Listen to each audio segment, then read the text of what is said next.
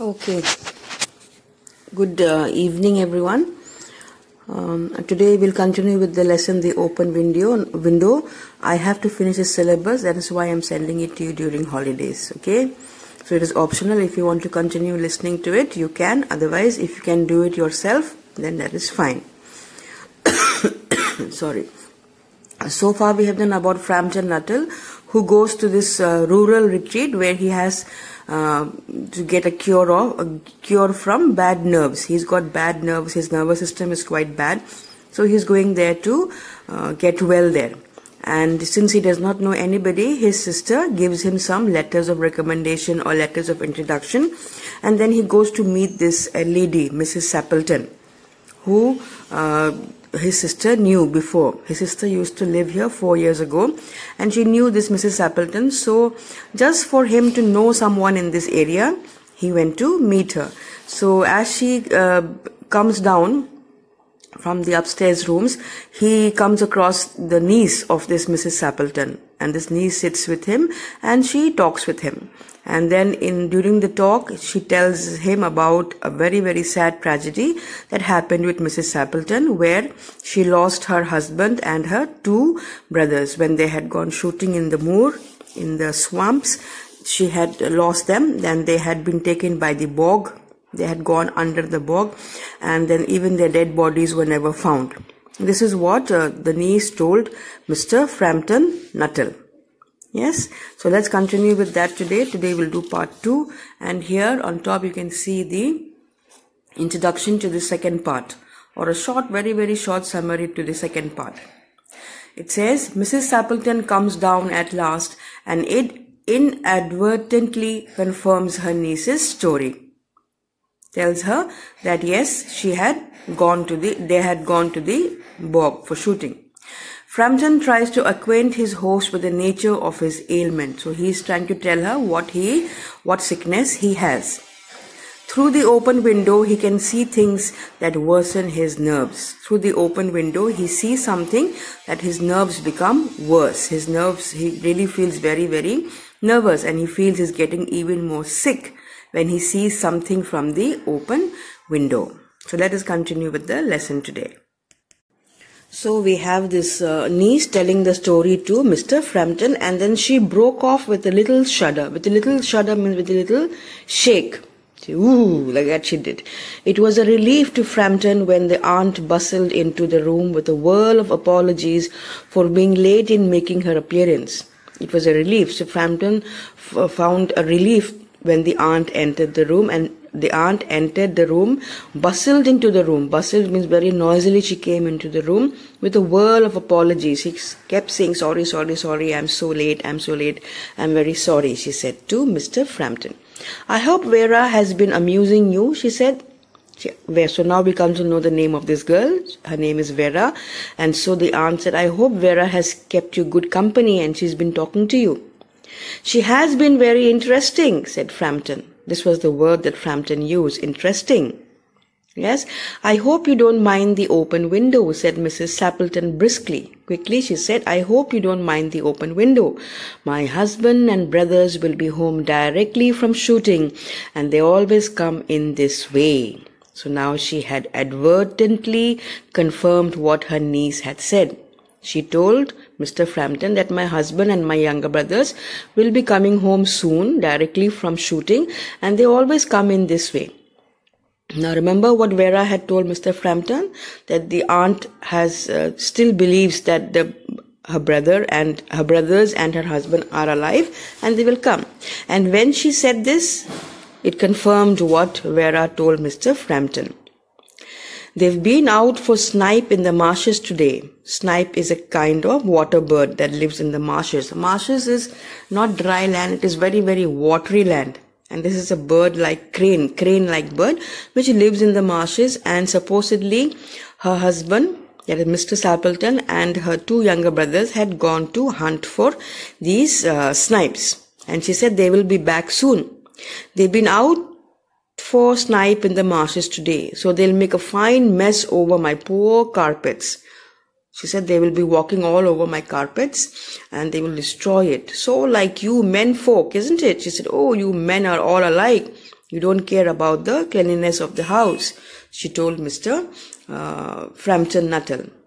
She rattled on cheerfully. Rattled means she continued to talk. She went on and on cheerfully, very happily about the shooting and the scarcity of birds. Scarcity means very, very less birds were there these days, and that is why uh, hunting took time. And the prospects for duck in the winter, scarcity of birds and the prospects to eat ducks for winter was getting lesser and lesser because these ducks were not more available in the marshes. It was very difficult. There was a scarcity of them. There was very, very, there were very, very few birds like this in the marshes. To Framton, it was all purely horrible.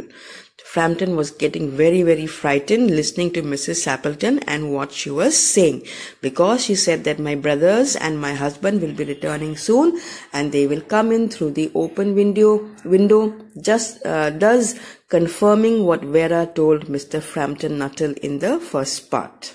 So he is getting frightened, he's getting afraid and nervous and his nervous system is again becoming worse.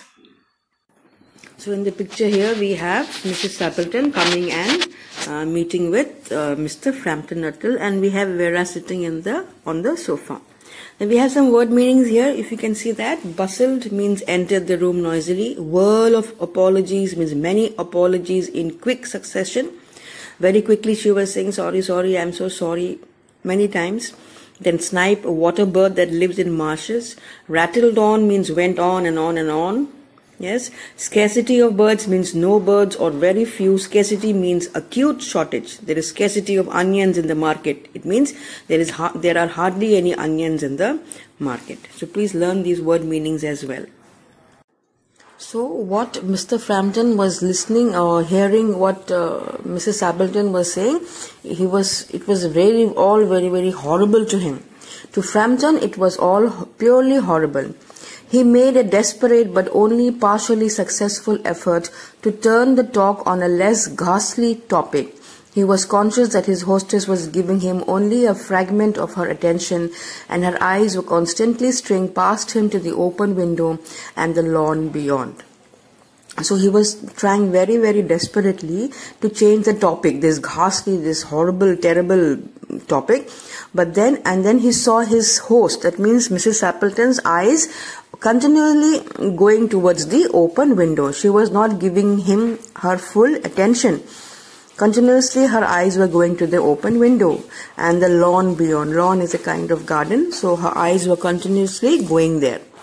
It is certainly an unfortunate coincidence that he should have paid his visit on this tragic anniversary.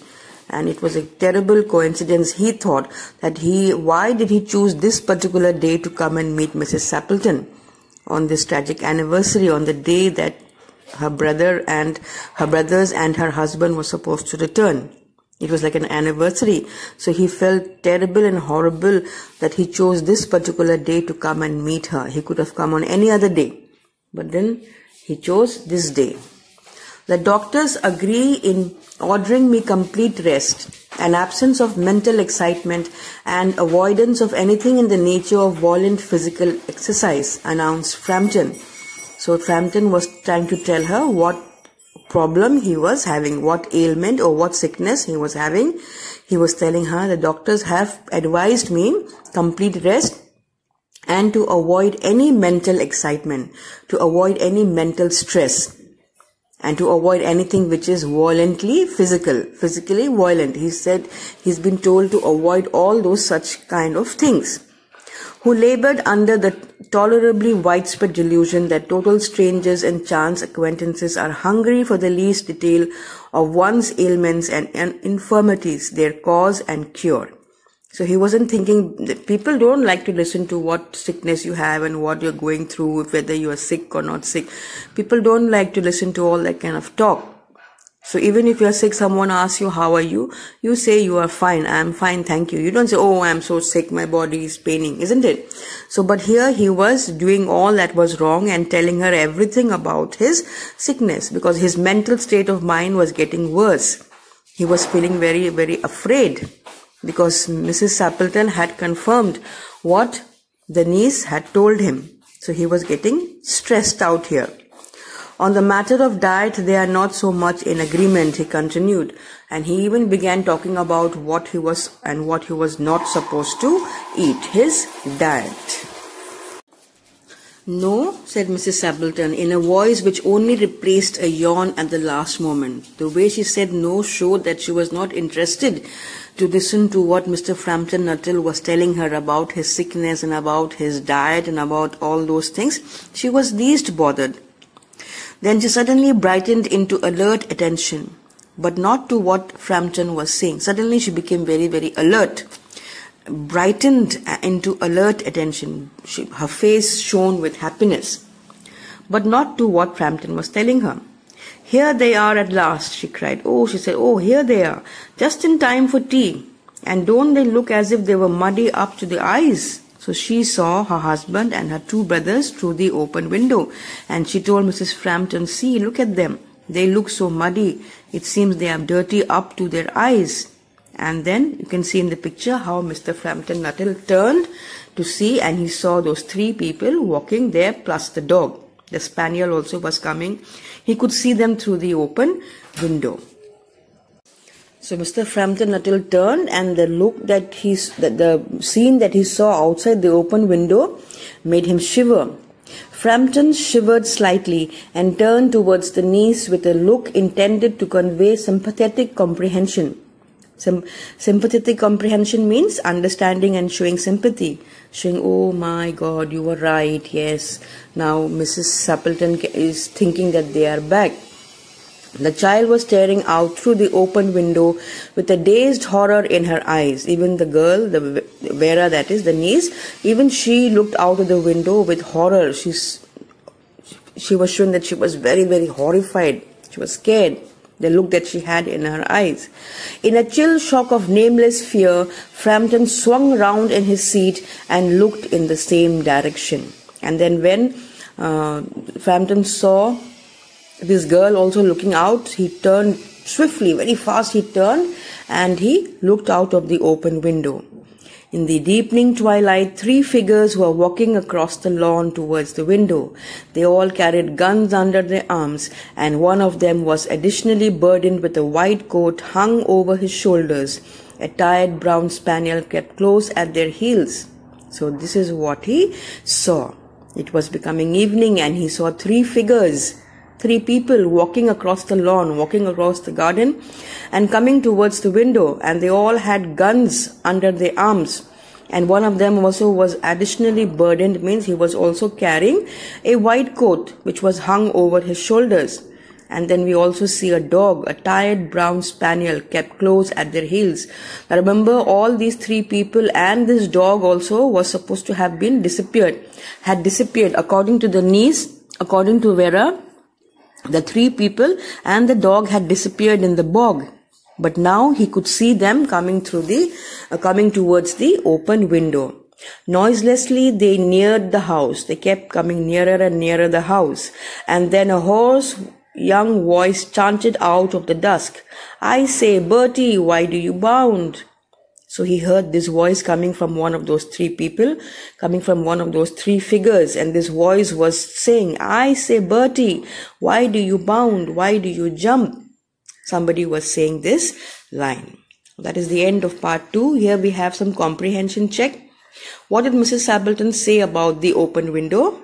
She said that her brother, brothers and her husband usually came in through the open window. That's your answer. Depending on the marks, you can elaborate more on that. The horror on the girl's face made Framton swing round in his seat. What did he see? Very, very simple. What did he see is in the last paragraph of part 2. Now part 3 will be coming to you very, very soon. Yes, maybe by tomorrow I'll send the part 3 to you. Uh, so in the meantime, you reread or you rather read again this lesson. If it is still not clear to you, then let me know. Okay, part 3 is coming to you soon. So bye bye. Have a good day. Enjoy your holidays.